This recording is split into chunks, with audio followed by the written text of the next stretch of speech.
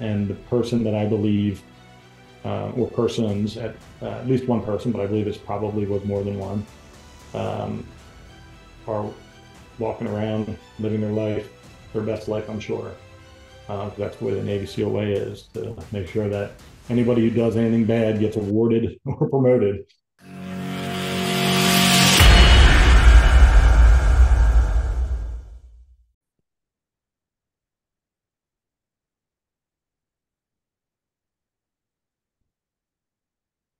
What's going on, guys? Welcome back to uh, Green Beret Chronicles. Today I have Matt on the show. He is on a one man's journey to uh, make sure Commander Price's killer um, gets brought to justice, right? Um, I wasn't aware of this story. Uh, just watching him on the Anti Hero podcast kind of shed light on a lot of things that I personally disagree with. And if you guys uh, remember a couple of, I want to say a couple of months back, I put out a video about what I disliked about the Navy SEALs. And I spoke about some specific incidents, right? Uh, the Lone Survivor incident, John Chapman, and the killing of my buddy Logan Melgar, right? All those um, events hmm. didn't sit well with me, and they still don't, right? And my fight was mainly with the folks that are on social media nowadays as far as seals go because they're not really stepping up and saying hey these events are messed up and it's not a representation of our community. And i got a lot of blowback from that but it is what it is right? Because my you know um stands are my stands right? And i stand by them but i wanted to bring uh, matt on because he's been doing a lot of research on these um, incidents on these corruptions right? And i wanted him to speak on those corruptions. So, uh, Matt, if you don't mind, please let the audience know who you are, and then you can jump right into Commander Price, what happened to him, and why you are fueled by making sure his killer is brought to justice. Well, first of all, thank you for having me on. I appreciate the opportunity to once again share some of the stuff that I've learned over the years. Um, that all started with Commander Price's death. But a little bit about me, just real quick. I am a U.S. Army vet, uh, burned the Gulf War 89 to 93. I was an Army intel guy, active duty. Um, after I got out of, of, the military, I became a cop and was a cop for 30 years. Um, during that period of time, I was also, right after 9 11, uh, became a United States Federal Air Marshal and did that for a little over four years. And uh, so I have a, a pretty wide uh, breadth of, of experience as far as investigations go and exposure to different levels in law enforcement. Um, you know, SWAT for 10 years almost. And so there's I've got perspective from multiple different angles. And um, the reason I'm involved in any of this is because Job Price, Commander Job Price, who was commander of SEAL Team 4, was a high school buddy of mine. And in 2012, December 22nd, to be specific, he was found dead in his bunk in uh, Afghanistan.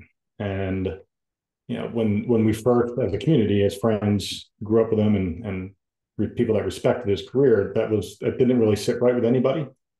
Um, when we went to his memorial service, people were just taken aback that you know Job would kill himself, which is what the United States Navy said happened. And over time, um, his family began to doubt the validity of that uh, determination.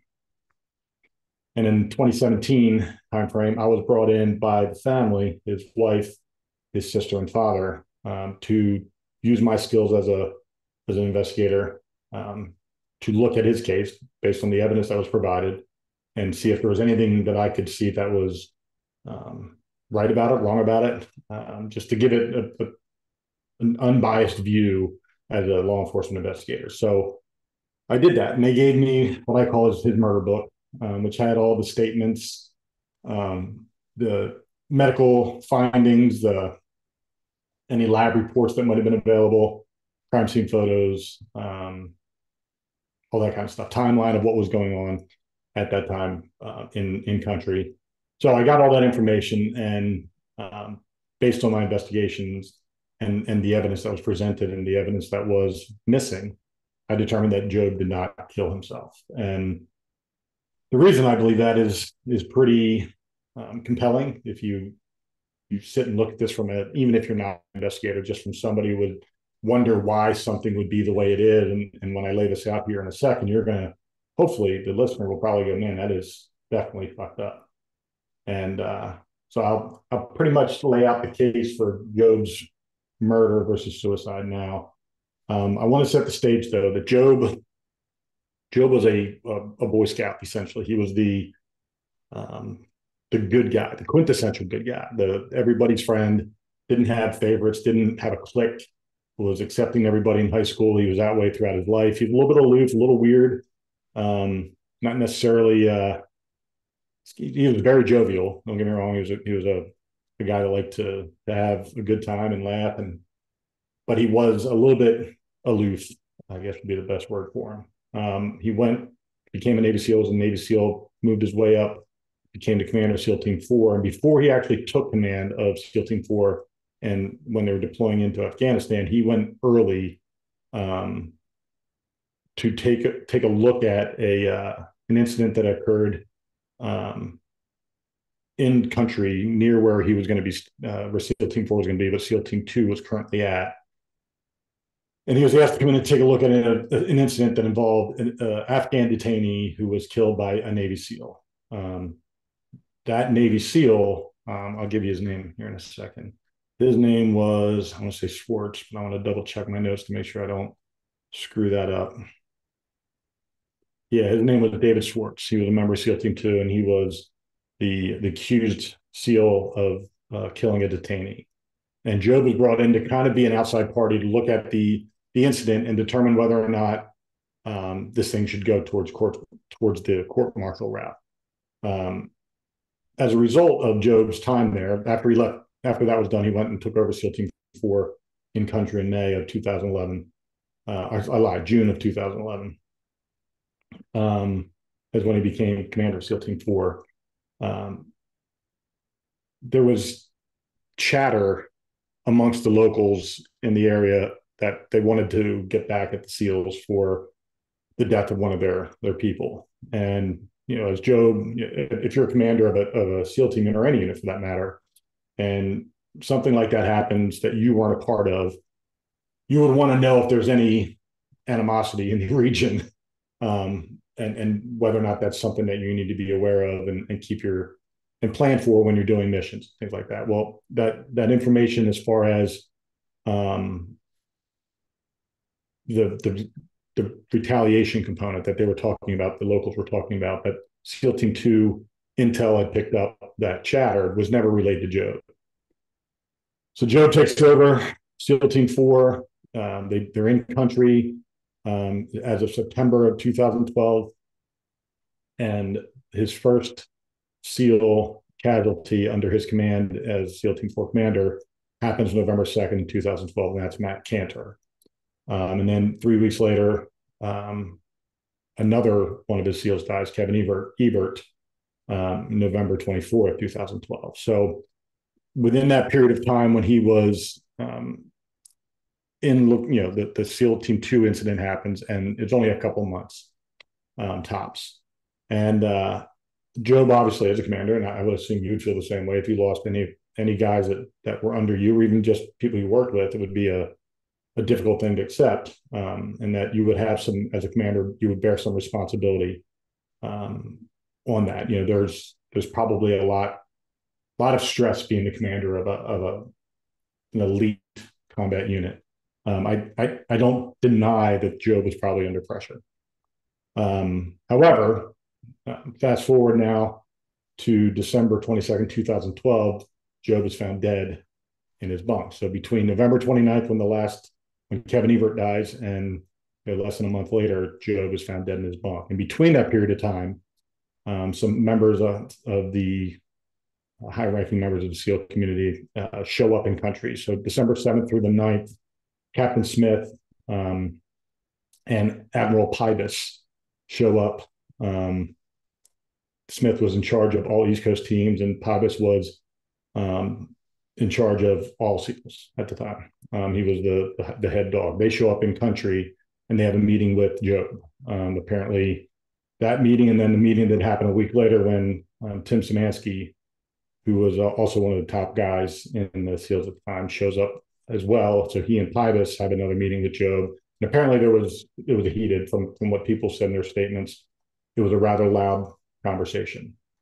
Um, unknowing at the time what that would be about, we kind of now can can sort of reverse engineer it and kind of see where things were happening that that you know, including the the retribution part um, that could have caused them to come into country and, and something that would cause a, a loud argument between um, command staff and Job, um, Naval uh, Special Warfare Command staff, and Job, the commander of SEAL Team Four. Um, on December 17th, the day after the Szymanski Pybus meeting, Job was um, complaining of dehydration, was given saline to help recuperate with his body. Um, Szymanski and Pybus had left already by then.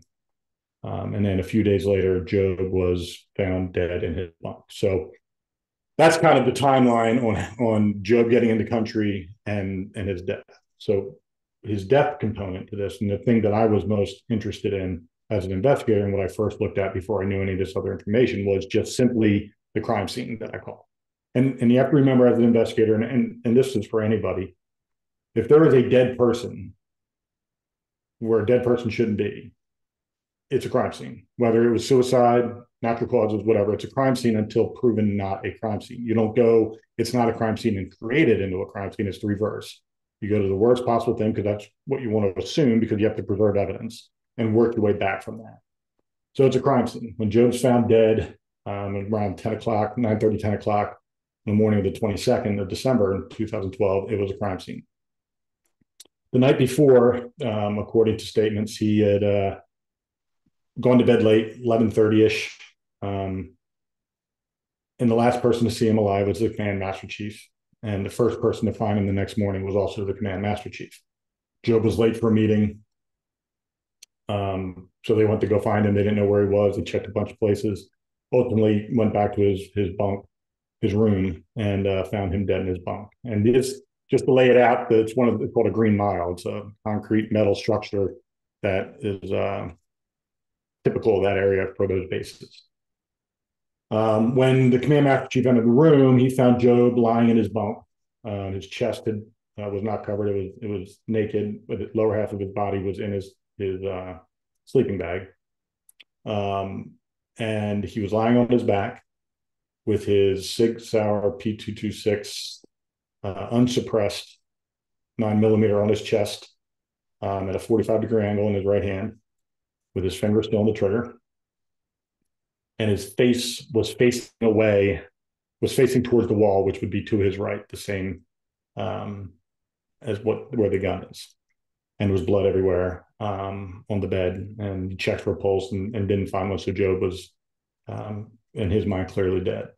Um, I want to point out that when I saw him laying on his bed, first thing that I noticed was that he was still holding his gun, which is not typical of suicide. It, it happens. There is a there are um, suicides where the weapons remains in the hand, but they're they're specific in in the positioning. A lot of them uh, on how that can be um, how that can happen, where someone can shoot themselves and still have the weapon in their hand. Um, secondly, he was in his sleeping bag. So that would, to me, say that he was intending to sleep. And then after speaking to his wife and his sister and his father, I found out that Job typically, um, and I forgot to mention, he also had a pillow in the crook of his left arm. So his arm was like this, the other hand was like this, and the pillow was between his forearm and his bicep and his left arm. Um, and I found out from his his family that Job typically slept in the nude most of his life, that he slept on his left side typically, and he typically slept with a pillow in the crook of his arm, and he would sleep with the pillow underneath the back of his hand and between his forearm and his bicep and his left arm. That was his typical sleeping position.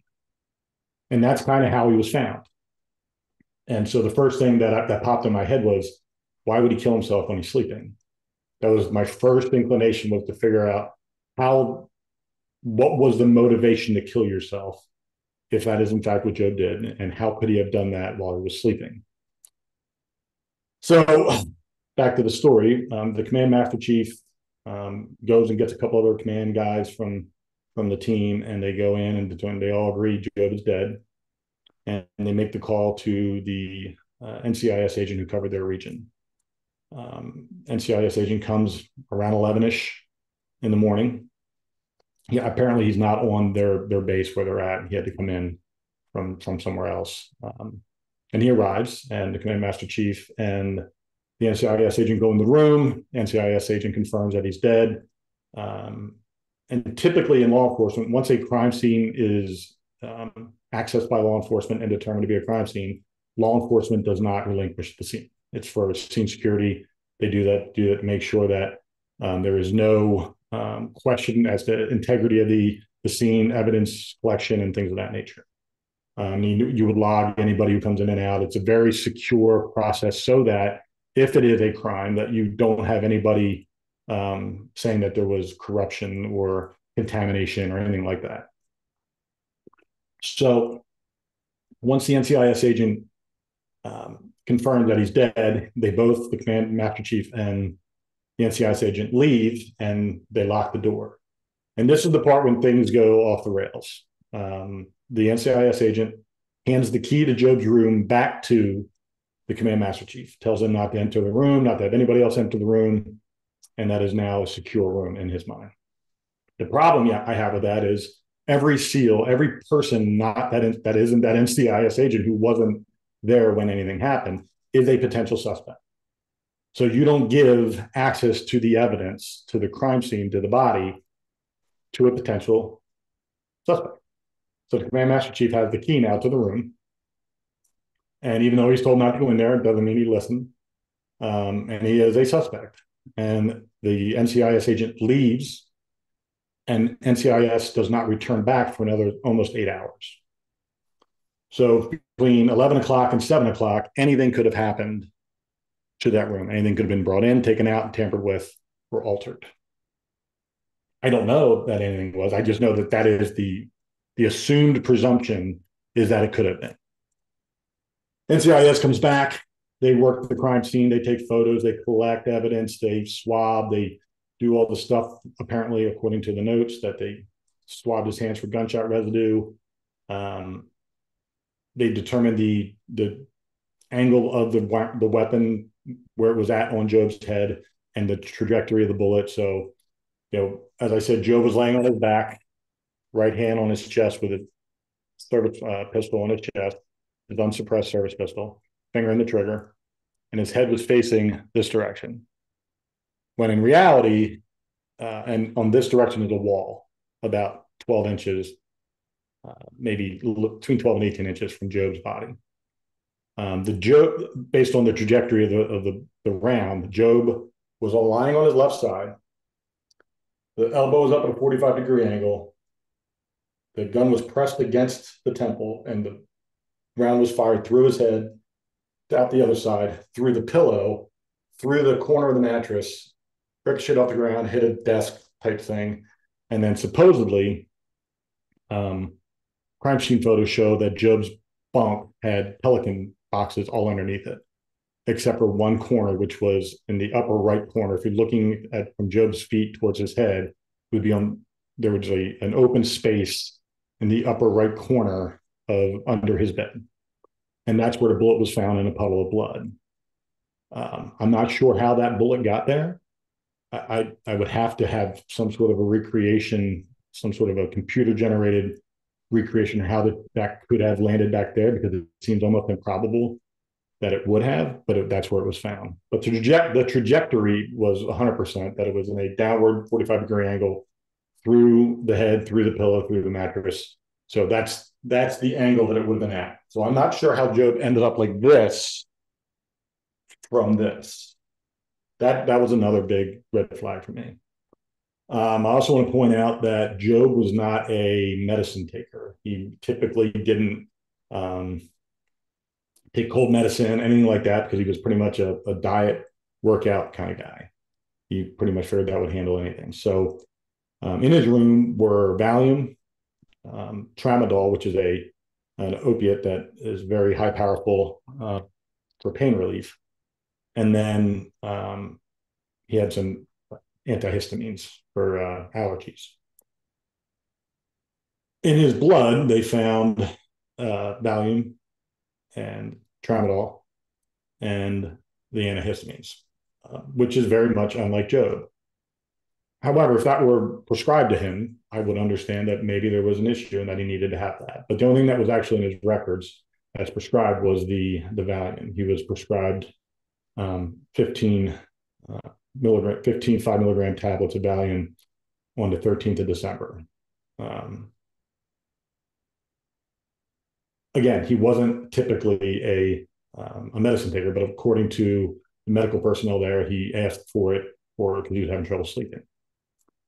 The tramadol was not anywhere on his records, um, so I, I question where that pill bottle came from. Now, some statements from some guys there, including um, the one uh, corpsman said that he wanted it off the record, that he didn't want it, want the tramadol on his record. Um, that's not who Job was. Job was a I dot and T crossing rule following guy. Always was. Uh, it's just who he is. Has been that way since he was little. So I would find it very difficult that he would go and ask somebody to risk their career to keep off um, some medicine that that if it ever came out that that it was prescribed uh, against policy or procedure, that they could lose their job or get in trouble, and so could Job. So I don't imagine that to be true. But in his room are these pills, um, which was another red flag for me. Um, and then when I'm reading through Job's murder book, I'm, I'm looking at all the reports. You know, it doesn't give any measurements of how much tramadol or or Valium was found in his blood. It just says it was present. Um, I couldn't find a single ballistic report on the on the weapon or the round. Um, I couldn't find any gunshot residue reports. I couldn't find any DNA reports. In the NCIS notes, they said they collected all that. Another red flag. Where is the evidence if the evidence was collected? Where is the results of that testing?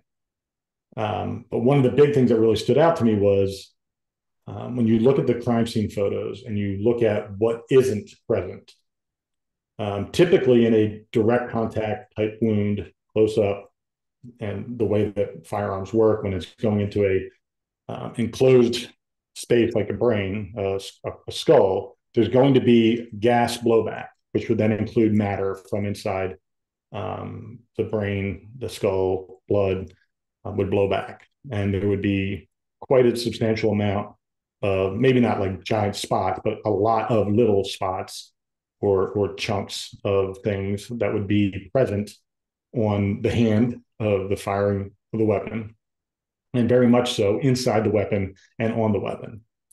Um, the details of that were very spar- sparse as far as in the reporting, but in the photo, there's probably eight to ten like pin size specks of blood on Job's hand. Um, not anything that would be remotely close to what would happen if it was a hand next to a head while holding a gun. And the gun had very little visible uh, blood or brain matter or skull fragments or anything on it. I couldn't see any, to be honest with you. While that is a giant red flag, the red flag that really stood out to me was the fact that there was no photographs of the blood splatter on the wall, which would have been behind Job behind his elbow of his shooting hand um, because that's where the blowback would have gone. And like I said, it was about 12 to 18 inches away from Job. So it definitely would have went back to the wall. When I looked for those photos, I asked the family where where were those photos, and they said they asked the same thing, and they got a letter from the Navy when they requested that that information, and it said that that disc that contained those photos was damaged and destroyed, and there was not another copy. So while I have pictures of the wall from different angles, I don't have any close-up pictures of that wall to show me any type of blood splatter. And the pictures I could look at, which were more angled pictures from a distance, they showed no blood on the wall. But it did show the blood where it pulled up in that back corner of Job's bed where it ended up going down to the floor. You can definitely see blood on the wall there where it pulled along his mattress and then dripped down the wall onto the floor. But that's the only blood you could see anywhere um, outside of the blood on Job's head. So all of those things combined were giant red flags for me as far as an investigation. How do you get to suicide when all those pieces don't add up? Um, the biggest piece is, you know, Job slept nude his entire life. He slept on his left side his entire life. He slept with the pillow on his on his left arm his entire life. I don't know anybody that's ever committed suicide while they slept.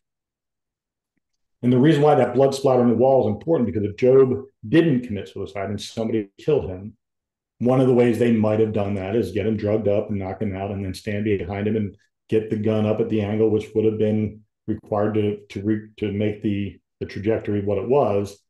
And if that blowback went back and hit a person and not the wall, you would see a a silhouette or a, a blank area of clean wall with some blood splatter uh, on either side of it, and that would show that there was something obstructing the path of the blood to the wall. And that's an important part of an investigation, especially one where you can't determine whether or not it was actually suicide or not. Um, according to the NCIS notes, they had bagged his hands, which is typical to try to preserve evidence um, on his hands, which would have been gunshot residue, DNA, any type of uh, anything under the nails, if there was a struggle, anything like that. That's typically what you do. Um, I have the NCIS report notes that show that, that he was told the the command master chief was told by the NCIS agent, who was an officer, um, do not touch the body, do not remove anything, do not uh, tamper with his body in any way. And this was as they're getting prepared to release the body over to the, the corpsman, the medical people there in, in country so that they can prepare him to go back to the States for his autopsy and then obviously his services. Um, the NCIS agent notes said, I don't, I did not believe that he was going to follow my instructions based on his body language and his mannerisms. I believe that he was going to do what I told him not to do, which is to mess with the body. Body gets released, goes back to medical tent, uh, medical building, um, and uh, command master chief and several others went back there, um, removed the bags on Job's hands, and washed his body from head to toe, removing and destroying any uh, evidence that could possibly have been on his body was now completely gone. Um, which may be why um, there were no reports on anything because there actually was no testing done that and there was no collection done that they were going to make the only collection what was currently on his body when it was supposed to be preserved for the trip home for the autopsy so not only do we have all of the the issues with the crime scene itself then we have the tampering and destruction of, of evidence by the seals and as i said until it's determined a suicide through investigation everybody is a, a suspect so the NCIS agent allowed the suspect to have access to his room for eight hours. He told him not to touch the body after he was released. And then the same people, including, you know, led by the command master chief, destroyed evidence on Job's Price, Job Price's body. And the, the sad part about all of this is that um, not only was Job the highest ranking person to be killed in theater um, at that time, um, it got no news. There was a, I believe there was a little at the bottom of the screen where it scrolls by. I think there was something then um, on MSNBC or one of those channels, and that was the only coverage you got. And you know, the question I will always ask um, with anything is if nothing nefarious happened, then why did you destroy evidence and cover it up? There is no need for cover-ups if the evidence points to what you want it to point to. If it's if it was a suicide, it would have been very clearly a suicide, and you wouldn't have had to cover anything up. Now, what what reasoning were like what reason was the Navy giving as far as why, if it was a suicide, why he committed suicide? Well, the Navy didn't give any reason. They they basically just said it was a suicide. And if you look at statements which were taken um, quite a bit of time. You know, typically you want to get those statements as it's fresh in people's memory, but it was 24 to 48 hours later that statements were taken. And the longer it takes for statements to be taken, especially in a unit like a SEAL unit, the more opportunity there is for collusion for people to get the story straight. And if you read the statements, they're pretty much cut and paste. There are some personal interjections in there, but for the most part, the the, the narrative that was out there was that he was withdrawn, um, destroyed over the loss of his guys, was not eating right, not sleeping, not working out, letting himself go, very uh, not interested in the mission. And that's kind of what what the statement said. Now, I know for a fact that you know a little bit before um, all of this happened to Job, he had he had had a conversation with his wife via message, uh, email that he was concerned about some things that were happening and that he was going when he got back, he was going to have to um, handle it as far as you know reporting some people for some things that he he had found. And you know when you think about um, what that could have been, you know there are there's a lot of things that you know I talked about the retribution part from SEAL Team two and how it's they were pretty. It wasn't far between far apart between I think it was like sixty miles different between where um, the detainee was from and where Job's unit was, and I wouldn't wouldn't put it past anybody that set up ambushes, which is what happened with Cantor and Ebbert. They were both killed in ambushes. Um, that that would potentially be tied to the retribution component from what happened to that detainee with SEAL Team Two. Um, you know, one of the other things that that Job was dealing with was one of the warlords in the area was was also a drug dealer, and Job was forced to um, participate not participate in a drug, but deal with this guy on a command level um, to get things done as far as what their their mission objectives were. He had a major problem with that. Um, there was an underage Afghani person some people say it was a boy, some people say it was a girl. It was very difficult to nail down the sex of the the Afghani, the underage Afghani, but um, Joe believes one of his or multiple of his guys sexually assaulted and killed um, that underage Afghani. Um, and then finally, um, and we're going to talk about this with Melgar as well, but the ASOT money, um, you know, that, that was the thing. You know, they, they were getting this money in order to um, use it for mission purposes. Um, and, and Job caught a couple of his guys misusing you know, tens of thousands. This wasn't like a grand here and a grand there. This was, you know, thirty to fifty thousand dollars was missing and the the one guy specifically wasn't, and I, I can't say his name, um, wasn't able to answer for where that money went.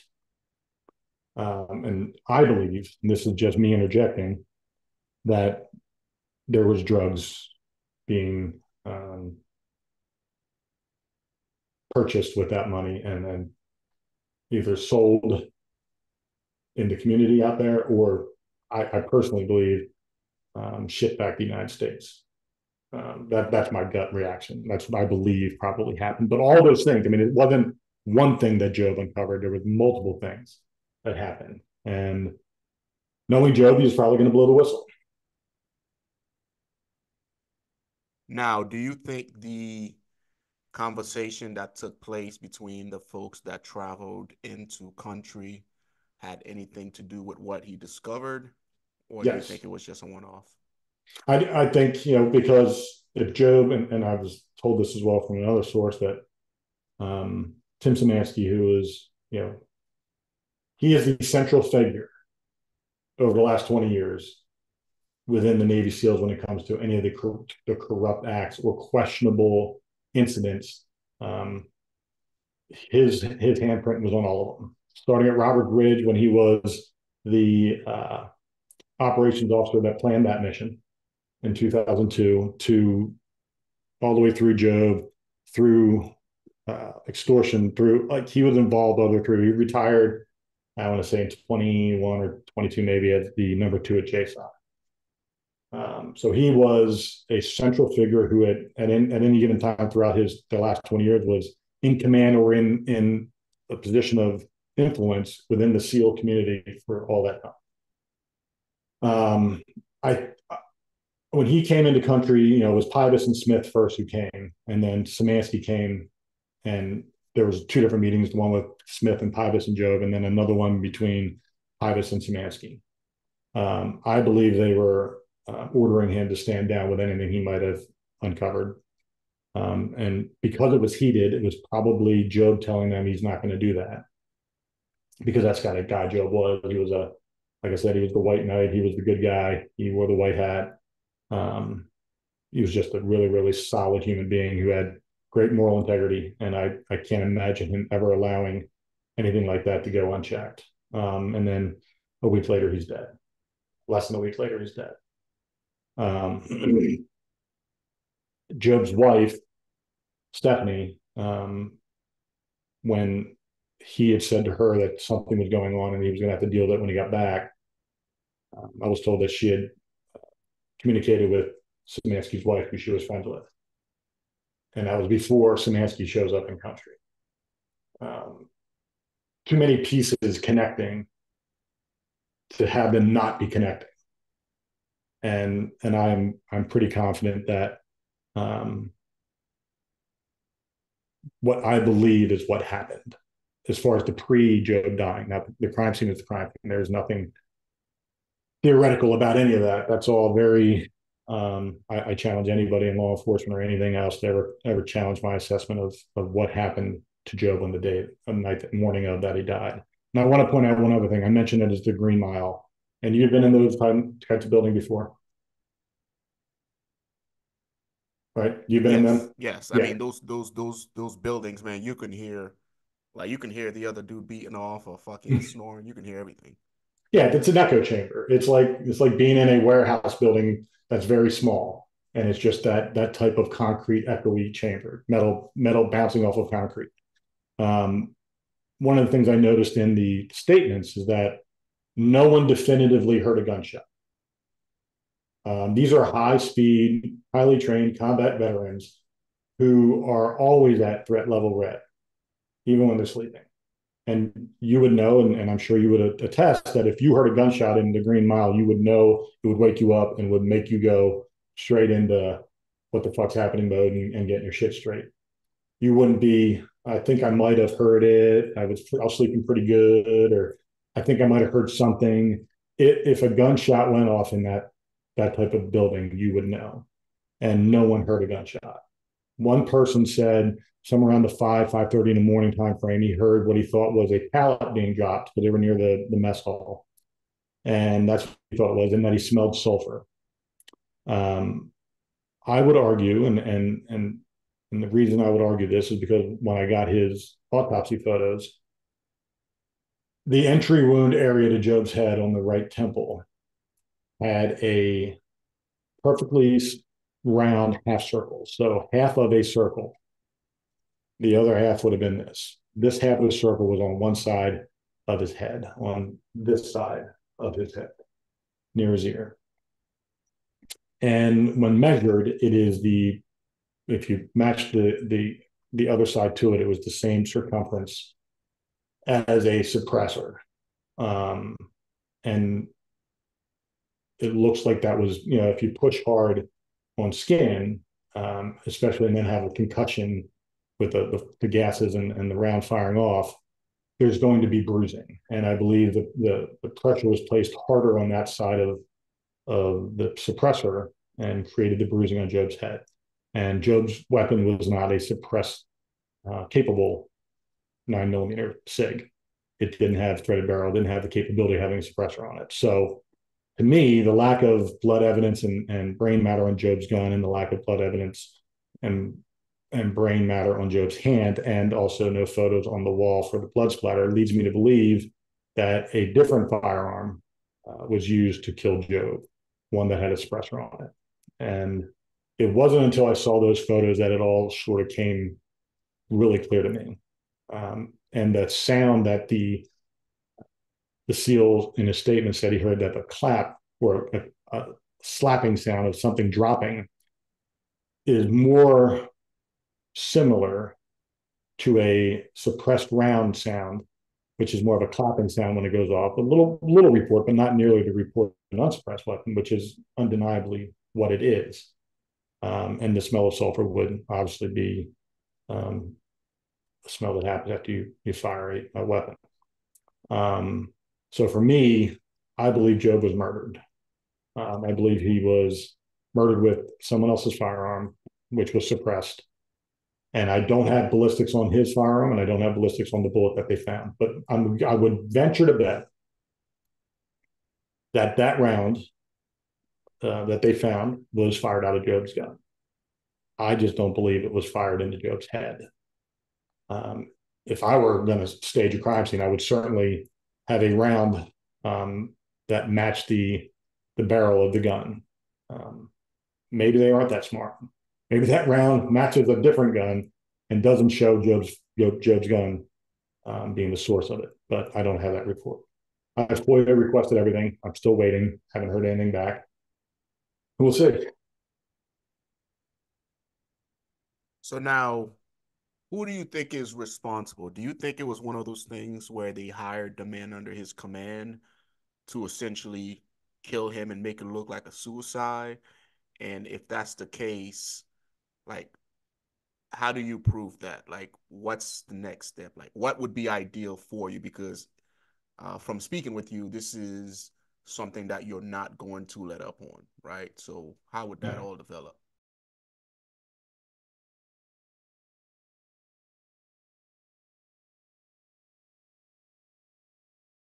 Believe it was a, a, third party, someone else on the base. I think the suppressor component to this um, is very, very in a, a very important part. Um, I know a lot of the the operators' weapons are suppressed, if not all. Um, and I believe that it was one of his guys. I have a theory on who it is. I can't say his name because I don't have enough evidence yet um, to to say his name out loud. Um, but I do believe it was one of his guys, and I do believe that it was um, coordinated from the top to do that. And um, because there's there's a preservation component to this, there's a you know the, you had the cover up. I believe the cover up was you know everything that they did with the crime scene and to his body afterwards, um, and with the the suppressor. Um, but I think this has been you're gonna remember just 2012, so we're 10 years into the war already, and we're going to go back and talk about some stuff that happened prior to to this. Um, but there was other questionable things that had happened over the last 10 years. And during that period of time, the brand of the Navy SEALs was becoming um, everywhere. You know, that was a huge thing. You, you already had Luttrell, you already had Chris Kyle, you already had um, Rob O'Neill. Like all these things were, were Captain Phillips, like all these things had happened before Job died and the brand was strong. It was really gaining traction, and keeping the brand intact was the number one priority, I believe. And Job was just a um, a victim of that. And their ability to cover up exists because they have the cover of greatness sitting around in movies and TV and, and books. And even though that's mostly fictitious, um, the American public doesn't know that, and at least they didn't at the time. And hopefully, that's what we're doing here is educating some people about um, greed and power and corruption that is permeating through the Navy SEALs. But for me, you know, once I got into Job's investigation, and I started trying to figure out how I could get um, his case reopened, I realized that that was an impenetrable object. I couldn't get an audience from anybody. And one of the sad parts about this is Job's wife, who was very much involved in helping me um, get information, all of a sudden pulled back and stopped. And you know the way it works in the military is if you have a a death, if, if a soldier or a sailor, sailor dies, um, the only person that really has any power to, to do anything is the spouse, the surviving spouse. The, the father or the sister do not. And once she pulled back, my access to information um, direct information from the Navy went belly up. Um, so I began to work with my sources, who then opened up more sources to me, which opened up more investigations into more different things, which we're going to talk about.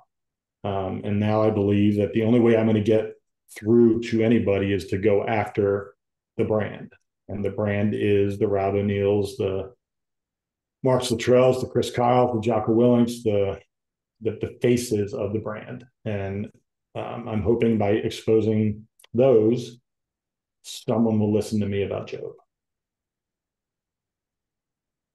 So why do you think the wife pulled back? Uh, well, she got some money from the foundation, um, from none other than Mike Hayes, who was the commander of SEAL Team Two um, during the that whole debacle with the, the, the killing of the detainee. At the time, he had um, been forced out of the Navy, um, told to resign, um, to retire, and uh, and he went to work for the foundation. And um, four hundred fifty thousand dollars, I believe, was the number that was paid to Job's wife. Um, you know, Job didn't get his life insurance because his life insurance policy um, says suicide. It, it, hadn't he hadn't had it long enough. I think he needed to have it a year before. Um, if he had committed suicide, it wouldn't have changed the outcome um, but he didn't have it a year, and uh, so he didn't get that they didn't get to pay out on that, and he didn't get his pension. He was six months away from reaching his twenty years, and uh, did not get his pension. So one could argue that the foundation stepped up and paid Stepher four hundred fifty thousand dollars to as a um, in lieu of those two things. I don't know. I just know after that happened, um, her interest in this waned, and I was actually told by her to uh, stop because I was kicking too many doors and tires, and I was pissing a lot of people off that were then impacting her life there in Virginia. And uh, I think she really enjoyed, as I can imagine most women would who were in that position, being the wife of a commander and having that network. And luckily for her, um, the Navy SEALs are really good at ingratiating the surviving spouses so they don't ask questions. And she still has that same network and that same level of respect in the community that she had when Job was alive. And uh, sadly, she's just not asking or fighting anymore for the answers. It just blows my mind, man, because this is a 05, a lieutenant colonel in the Navy, six months away from retiring, has a spouse, has a child, and all these evidence that you, not even part of NCIS, was able to uncover, you know, points to foul play, yet it's not being entertained. Uh, now, as far as the individual that that you think did this, are they being held accountable at least, or based on your research, or are they just out and about, just living their lives while uh, Commander Price is dead? Well, nobody was held accountable for anything. I mean, the, the NCIS agent should be held accountable for not securing a crime scene and leaving it um, available to be tampered with for eight hours. He needs to be held accountable for the lack of evidence that was collected on scene and, and analyzed and produced as evidence. He should be um, held accountable for basic ineptitude. And SEALs who disobeyed a direct order from an officer, an NCIS officer, um, and tampered with evidence should have been held accountable. But nobody was held accountable for anything. Nobody was charged, punished, um, slapped on the wrist, nothing for anything. And the person that I believe, uh, or persons at uh, at least one person, but I believe it's probably was more than one, um, are walking around living their life, their best life, I'm sure. Because uh, that's the way the Navy SEAL way is to make sure that anybody who does anything bad gets awarded or promoted it's kind of their uh, their mo to cover things up. So if you got an award or promoted, and you know we, you you were in the beginning talked about the whole John Chapman thing, and I went a deep dive into that in in, the, in Brent's uh, in the, the anti-hero podcast with Brent Tucker and Tyler. Um, well, Slabinski was promoted. Slabinski got the Medal of Honor. He stole valor from John Chapman. You know, SEAL teams blocked John Chapman's uh, Medal of Honor package. They put out a propaganda video saying that it wasn't John Chapman who woke up and started fighting again. It was two Chechen or, or whoever they were, Al Qaeda fighters, shooting at each other. Um, that's what we're seeing on the the drone footage. So I mean, they they did everything they could to try to discredit John Chapman until they ultimately just allowed him to get his. They stopped blocking, allowed him to get his Medal of Honor, but they never admitted to doing anything they just allowed the award to happen and then everybody just sort of moves on. And there's no accountability there's no punishment there's no reprimands there's no nothing there's no public apology. It's just award promote move on. Now um, before we wrap this segment on and move to something else what else do you want people to know about the case for commander price? Like what um, additional details do you have um, or what uh, do the American people need to know uh, before we wrap this up? Every person, and we're going to talk about Melgar here in a little bit. Um, every person who serves this country deserves to have the respect, honor, and dignity bestowed upon them for the work that they did while serving. I don't believe Job got his. I don't believe Job was given even a modicum of attention and and respect for what he did. Um, he's considered a quitter. He's considered a pariah because he killed himself, according to the Navy. And I think that's an abomination. And as Americans, we need to, if we haven't learned anything over the last you know, five, six, seven years, is that we need to start questioning everything, everything. And people should be writing their congressmen and asking for Job's case to be reopened. People should be, if you were in the military you should be embarrassed that your military, because I know I am, and I know you are, is a, is allowed to operate under these types of conditions. And if you are a SEAL who has uh, witnessed corruption, you need to come forward and speak. Um, Job Price was the very best of what you say you stand for, and he's gotten the very worst from his from our government and the Navy, and it's it's a travesty of justice. Yeah, I agree 100%, man. I agree 100%. Uh, but Matt, I appreciate you coming on and talking about Commander Price. Again, we have several other topics to discuss. If anyone wants to reach out to you and lend a hand of support, uh, where can they find you? Um, I have an old website that still has good information on it, but uh, mattcubbler.com, M-A-T-T-C-U-B-B-L-E-R.com, or you can email me at matt at mattcubbler.com. Thank you. I appreciate you coming on, Matt. Appreciate you. It's been an honor.